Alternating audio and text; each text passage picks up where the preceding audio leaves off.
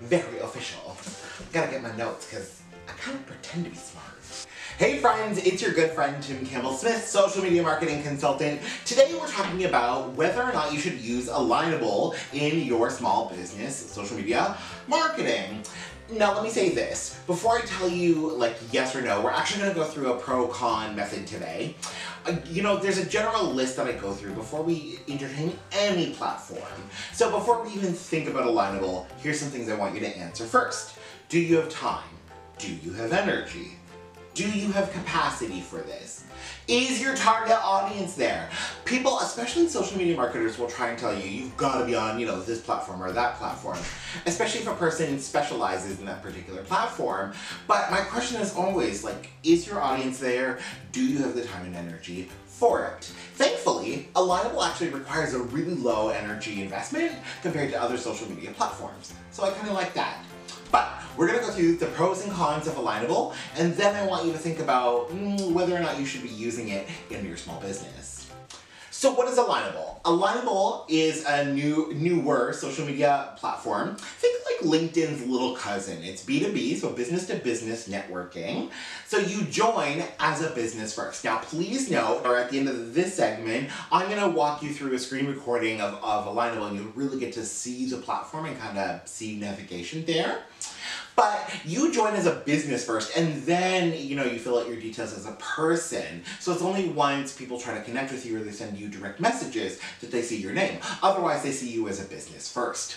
So you network with people who are B2B, business to business, and it's also locally focused. It's about communities.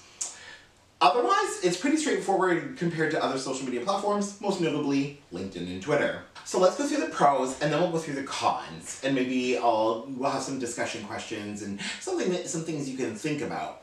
So some pros. I love how easy it is to use Alignable. You log in and like most social media platforms, but I think Alignable does this a little bit better. They really walk you through each step of what they want you to do. And it's pretty standard.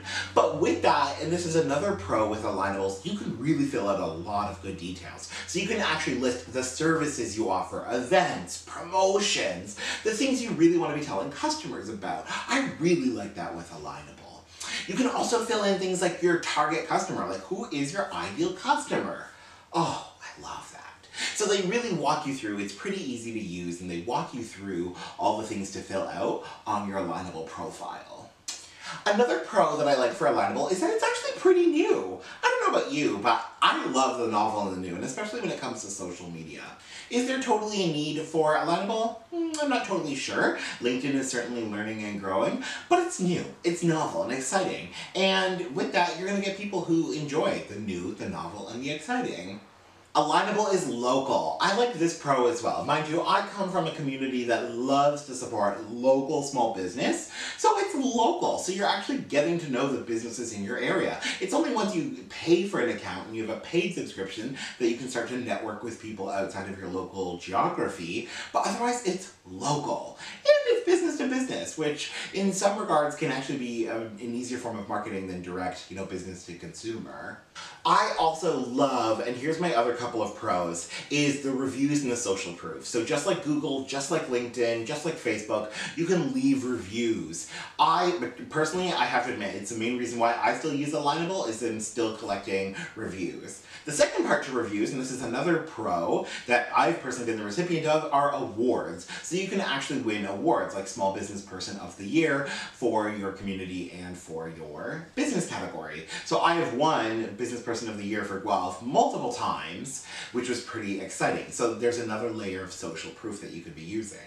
Finally, my last pro is the paid subscriptions. I have some mixed feelings, and I did also put paid subscriptions in the con list, but when you pay for it, you can get some pretty powerful things, and generally speaking, it's it can be inexpensive to pay for an Alignable account. So that's something to think about. Now, when it comes to Alignable, whenever I talk to folks about Alignable, they either confused and they have no idea what I'm talking about, or there's groans, and it's not always a positive feeling. And it's kind of well earned. So let me be straight up, well maybe not straight up, maybe like gaily up? Gaily up? Gaily up. Let me be honest about some of the cons and some of the things you're gonna run into with Alignable. First, having to pay for a social media platform is kind of confusing and a little counterintuitive compared to other platforms. Normally with other platforms, we're just paying for ads. With Alignable, you're paying to use it. The free account does come with some options, but you'll find if you really want to use Alignable to grow online and in your business, you're going to hit a glass ceiling pretty quick and you're going to have to pay for it. So that's a little funny. Second, and actually I probably should have put this first, this is one of the biggest problems with Alignable. With almost every single action, every time you click on something, you're gonna get a pop-up, you're gonna get a notification, you're gonna get redirected. Alignable constantly wants you to put in email addresses and import your LinkedIn contacts. Gross. No thank you. And it's because they're trying to grow the platform. They're trying to grow it in terms of users, they're trying to grow in terms of revenue, which is kind of understandable. Personally, I think this is a choice that's a little bit of a swing and a miss, but it's totally their call. So just a heads up, you are constantly going to be asked for emails and to import your LinkedIn contacts. Don't do it. Spamming, it's less than ideal. The other cons, which I did also put in with pros, one is that it's so small. It is so new, they don't have a huge user base, so you may not find a lot of other people. And then this brings me to my other con, because it is so geographically focused, because you have to network with people in such a small area, if you're not in a city, town, or area where there's many businesses, your networking radius is going to be really limited, the people within it will be limited, and it's not really going to pay off. So you've kind of got to be in an area where alignable's already being adopted.